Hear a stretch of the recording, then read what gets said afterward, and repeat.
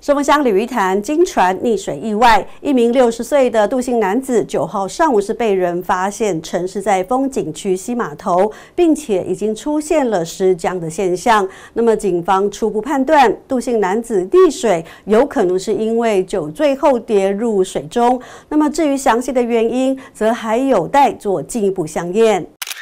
装着尸体的袋子已经被救援人员处理好。就在刚刚，一名男子被打捞上岸，但早已没了生命迹象，身体呈现僵硬状态。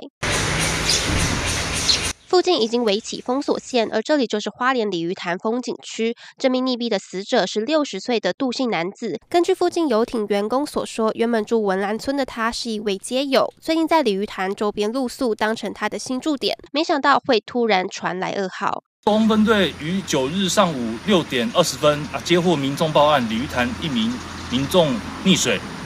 中分队抵达现场后，发现患者明显死亡。西码头这边还能见到他活动的痕迹，公厕旁的毛毯还有大型巧拼与小枕头是他夜晚御寒所用的。一夜之间，这些物品的主人就成了冰冷遗体。而至于他是怎么跌进水里的，目前并没有目击者。啊，经由收风分队人员将患者拉上。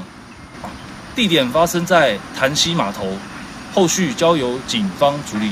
吉安分局初步推测，男子疑似酒醉后才不慎跌入水中，不过详细死因还有待后续相应结果。记者周长徐立行花莲报道。